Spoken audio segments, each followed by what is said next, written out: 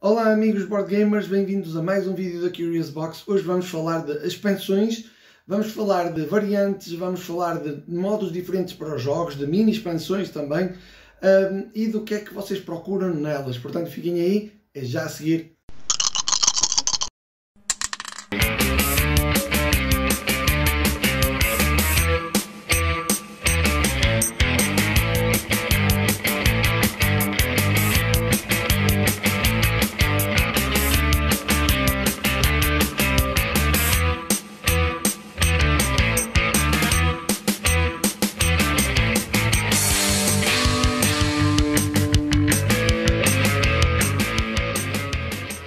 Como sempre, antes de vos falar sobre o tema do vídeo, vou-vos pedir para subscreverem o canal A Curious Box, onde trazemos todas as novidades sempre que podemos, sempre com todos os nossos vídeos. Uh, tentamos trazer variedade, tentamos trazer coisas que vos interessem, mas para isto também precisamos da vossa colaboração e dos vossos comentários e das vossas sugestões. É muito importante que, além de subscreverem, comentem aqui em baixo e nos digam aquilo que procuram saber mais uh, sobre os jogos de tabuleiro, se já conhecem muito, se querem ver vídeos mais pesados, se querem ver vídeos uh, mais uh, relacionados mais com jogos familiares, o que é que vocês desejam ver. Portanto, ajudem a comunidade a crescer, ajudem a comunidade, os jogos de tabuleiro a crescer, ajudem a Curious Box a, Curious Box a crescer. É só subscrever o canal, deixar o vosso like no vídeo, essas coisas todas, mas sobretudo comentar e deixar as vossas opiniões. Dito isto, tenho uma notícia a dar uma notícia que saiu há pouquíssimos dias e que está relacionada com o Botanists. O Botanists é um jogo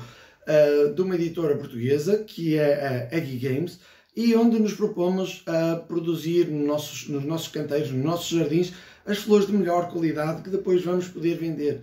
É um jogo que, um, ah, apesar da, da caixa ser bastante pesada e ter muito material, diga-se, componentes de ótima qualidade, é um jogo levezinho, um jogo familiar, um jogo muito bonito e que dá para toda a gente jogar. Portanto, eu recomendo totalmente vocês um, checarem aí o uh, Botanist na net e um, experimentarem o jogo. E porquê é que eu estou a falar do Botanist o Botanist é um jogo já do ano passado?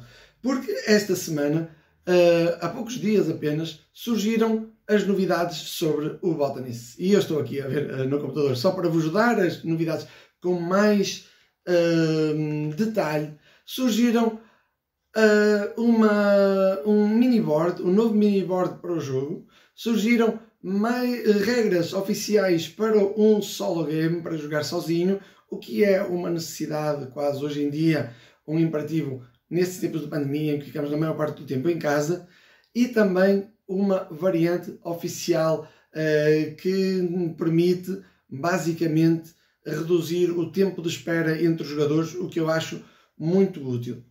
Ora, vem isto a propósito hum, do tema que eu uh, vim a tratar hoje, que são estas variantes, expansões, essas coisas que eu falei no início. Uh, antes, antes de mais, dizer-vos só para verem, uh, podem encontrar tudo isto gratuitamente no Board Game Geek na página do Botanist. portanto, é só ir lá e fazer o download. Provavelmente também tem na página oficial da Eggy Games, que eu não cheguei a verificar. Em relação ao nosso tema, eh, eu tenho aqui algumas considerações a fazer e tenho algumas questões a deixar-vos para, hum, para que vocês exprimam a vossa opinião também aqui na caixa de comentários eh, do canal. Expansões. O que é que vocês procuram numa expansão? Eh, o que é que acham útil numa expansão? Eu pessoalmente eu não tenho muitas expansões, já joguei algumas, não tenho muitas, tenho realmente poucas. E a primeira que comprei até foi a que tenho aqui ao lado, que eu já falei sobre ela antes, que é a do Mysterium, Mysterium Hidden Signs.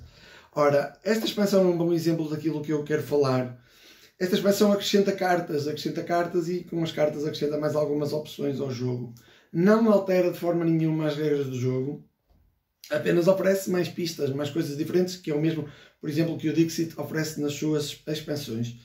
Ah, eu pessoalmente gosto mais das expansões que trazem regras novas ao jogo, que ampliam o universo do jogo e que ampliam também o, os objetivos, que ampliam o alcance. É o alcance é a palavra certa, que ampliam o alcance do jogo e que o tornam um jogo ligeiramente diferente do original. Uh, quero dizer com isto também que muitas vezes isto acontece, mas uh, para pior.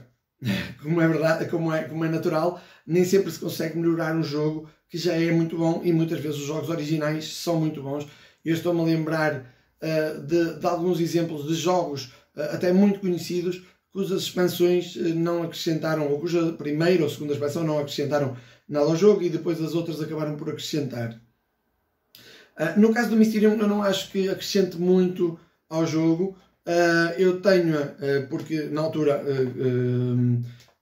proporcionou-se, e também não sabia muito sobre a expansão, e eu gosto bastante do jogo, acho muito bonito, e a expansão também é lindíssima, e, e claro, mantenho aqui na coleção. No entanto, aquilo que eu procuro mais numa expansão é o, o amplificar do universo do jogo. Permitam novas soluções e não apenas uma variedade uh, um pouco maior. É isso que eu gosto mais uh, nas expansões e há imensos exemplos. Um, eu estou-me a lembrar, por exemplo, de um jogo que é bastante conhecido, o Terraforming Mars, e, e, que já tem três ou quatro expansões e algumas delas uh, melhoram imenso um jogo que de si já é um jogo consagrado e um jogo adorado por muita gente. Outra questão que eu queria, hum, que eu, que eu queria uh, trazer aqui uh, à mesa para vocês meditarem e partilharem as vossas opiniões comigo está relaciona-se com certas variantes de jogo que são lançadas até já depois do jogo sair. Algumas variantes uh, permitem corrigir pequenos erros do jogo, uh, pequenos defeitos do jogo que os, uh, os jogadores eventualmente, de que os, jogadores eventualmente se foram queixando nos fóruns, na internet, enfim, tornou-se opinião geral e há alguns jogos que têm pequenos defeitos que, que as pessoas notam e eu lembro-me perfeitamente do, de outro que tenho aqui pertinho de mim, que é o Spyfall, uh, que é um jogo fantástico, mas que eu acho que tem aquele grande defeito de não ter uh, boards individuais uh, com todas as cartas disponíveis para todos os jogadores, o que denuncia bastante o espião. Se os, os, jogadores não conhecerem bem o jogo, o, o, o, espião denuncia-se bastante porque está à procura de, das localizações no, no, na folha que existe com todas as localizações. é um defeito e é uma coisa que eu até já tive a oportunidade de abordar uh, com a editora, e aliás é uma opinião geral uh, sobre, sobre o Spyfall, uh, e a editora simplesmente não tem intenções de, de, de, alterar esse ponto, preferindo que, seja, que o jogo seja jogado muitas vezes, por, ou seja, que o jogo antes de ser dominado vá sendo conhecido, ou seja, as pessoas joguem algumas vezes, percam algumas vezes, mas à medida que exploram o jogo já vão, já vão percebendo melhor. Eu não entendo muito bem porque há pessoas que desligam imediatamente do jogo nessa, nessa fase inicial, uh, mas pronto, são opiniões e, e, esta é a minha e esta é a da, a, da. Uh, aquilo que eu queria saber de vocês é o que é que vocês acham, uh, vocês acham um defeito ou uma qualidade uma editora trazer variantes ao jogo uh, já depois de ele ter sido lançado e variantes que corrigem pequenos erros do jogo.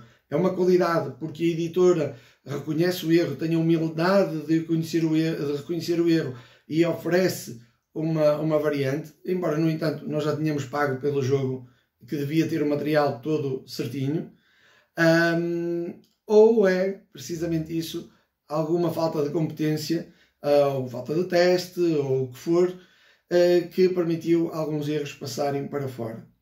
Na minha opinião pessoal, uh, toda a gente tem direito a cometer erros e, e as opiniões do, sobre os jogos variam de jogador para jogador. muitas vezes é difícil perceber, até através de muitos testes, qual é a opinião generalizada. e quando o jogo saca para fora, a opinião das pessoas é imprevisível.